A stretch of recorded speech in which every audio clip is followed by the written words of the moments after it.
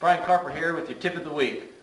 One of the things that's most frustrating uh, for myself and my other guides uh, is when you're on the lake so much, and if you're just a weekend angler, the calcium and the lime on the lakes, especially Percy Priest Lake, will build up on your motor very quickly. One of the uh, ways that you can prevent that from building and building is you can go down to the grocery store and get you some easy lime away.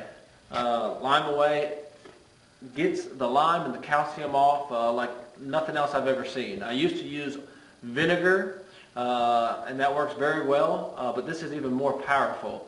Um, right here I've got my engine. I haven't uh, cleaned it in a few weeks. Um, and it's really ashy and white. You can uh, you know scrape on it. If you put a lot of pressure, it will come off. But if you take some of this lime away and you just kind of squirt it down the side, it's going to turn white, just like peroxide on a cut.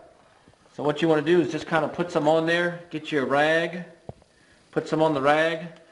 Now you don't want to push really hard, you just kind of make slow motions here. And it slowly just starts eating it away. And this saves a lot of elbow grease and a lot of time. Um, it won't build up if you do it every, um, if you clean your engine every time, but if you're like me, uh, a lot of days I just put the trailer on the boat and I head home. And um, so if I need to clean it up real quickly, it gets it off. Uh, just about done as it starts getting um, all the calcium and the lime off.